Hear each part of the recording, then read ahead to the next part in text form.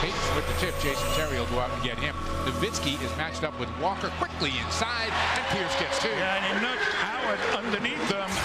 10 nothing run here by the Mavs. Payton comes up with it, gets it back out to Antoine. Antoine trying to make a move on Nowitzki, and does.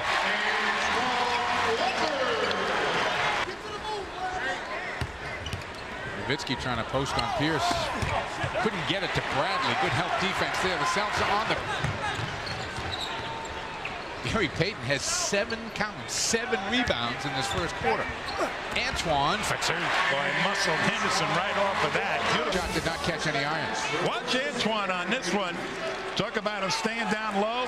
I mean, he just put his shoulder down there. Thanks. Antoine trying to stay with it. Does. And gets two. The best he can do on the offensive boards. Watch this one. Gets the floater. That doesn't go. Gets it back. Fights his way in amongst all those greenish type jerseys. Celtics are six of eight at the line. To Pierce. Tough shot. Rebound. Walker in the offensive glass. Yes! Cleveland, that's his seventh offensive rebound, not sixth. Watch this, comes out of nowhere, and there's the foul by Finley. Nobody's going to stop Van Horn. We're in trouble. Antoine.